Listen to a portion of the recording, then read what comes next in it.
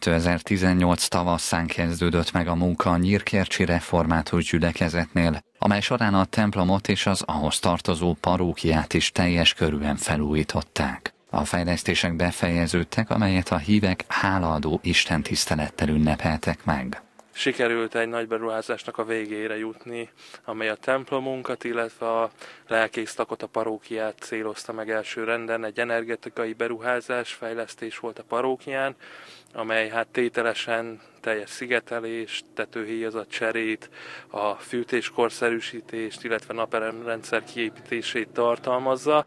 A támogató pályázat kimondottan kis települések részére lett meghirdetve, olyan közösségi terek és épületek energetikai felújítására, amelyek nem állami vagy önkormányzati funkciót töltenek be.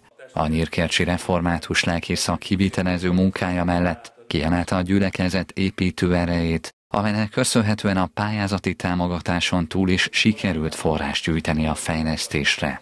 A templom eh, külsejében és belsejében is eh, megújult, Első renden VP település képes pályázatnak köszönhetően, amelyben 43,5 millió forintot sikerült támogatásként elnyerni, ehhez jött még a gyülekezetnek a önereje, ami körülbelül mondom egy 2,5 millió forint, illetve hát a gyülekezeti hálaáldozatok az adományokból is sikerült fejleszteni többek között azon a térkövön, amelyen most állunk, egyik gyülekezeti tagunknak, a presbiterünknek a segítségével sikerült ezt e, megtenni és szépíteni a gyülekezetünknek az ingatlanait.